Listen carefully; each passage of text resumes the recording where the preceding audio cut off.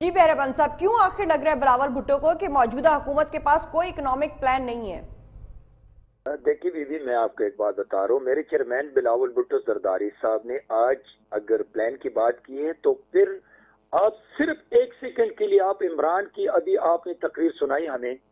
تو اگر عمران کے پاس کوئی اسٹریٹجی ہوتی، اگر عمران کے پاس کوئی پروگرام ہوتا، اگر عمران کے پاس اس عوام کے لیے کوئی ایسی پالیسی ہوتی کہ اس سے عوام کو اور عوام کی مشکلات کو ختم کرنے کی کوئی پالیسی تھی، تو آج عموماً ڈسٹرکٹ میں اس نے جو سپیچ کیا، وہی کنٹینر والی سپیچ اس نے کی۔ اس نے کوئی پروجیکٹ اعلان نہیں کیا، وہاں کوئی پالیسی نہیں دی، وہاں غربت ختم کرنے کے لیے کوئی پروگرام نہیں دیا۔ وہاں پر اس نے کہا کہ آپ چوروں کو ووٹ نہ دیں۔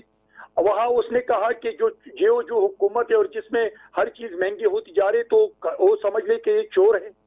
اور اس سے پہلے دو سال پہلے اس نے کنٹینر پہ سپیچ کیا تھا کہ جن حکمرانوں کی حکومت میں کسی چیز کی قیمت بڑھ جاتی ہے، ڈالر کی قیمت بڑھ جاتی ہے، پیٹرول کی قیمت بڑھ جاتی ہے، تو سمجھ لے کہ وہ چور اور کرپٹ ہے تو میں سمجھتا ہوں کہ آج عمران کو یہ بھی کہنا چاہیے تھا کہ میری حکومت میں روزمرہ شیع کی قیمت ہی پیٹرول کی قیمت بجلی کی قیمت گیس کی قیمت بڑھ گئی ہیں لہٰذا میں کرپٹ ہوں۔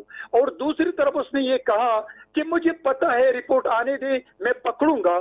تو بھائی پکڑنے والے تو لوگ آپ کے ساتھ ہی ہیں آپ کے پرن مین ہیں آپ کے بنیگالہ کو چلاتے ہیں۔ اور یہ وہی لوگ ہیں جو آزاد میں نے اور آزاد سے جاز بر بر کے آپ کے بنیگالے میں لا کے آپ دوپٹے پہنا رہے تھے۔